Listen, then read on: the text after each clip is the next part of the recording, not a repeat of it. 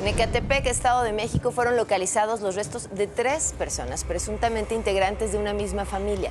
Los cuerpos estaban enterrados en una de las habitaciones de una vivienda en la colonia Potrero del Rey. La Fiscalía de Justicia del Estado de México indicó que las víctimas ya fueron identificadas y se trata de una mujer de 46 años, un hombre de 7 años y una menor de 10 años.